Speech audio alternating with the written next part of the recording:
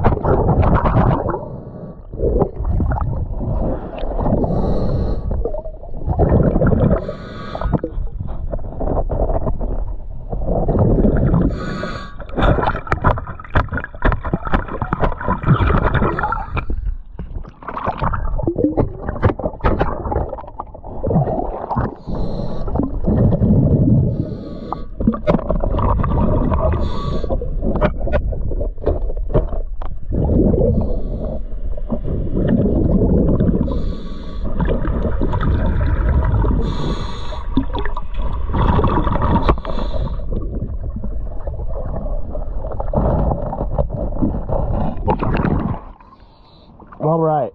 Unfortunately, this boat uh, is an hourly cleaning. Um, it's looking at about an hour to an hour and a half. All right.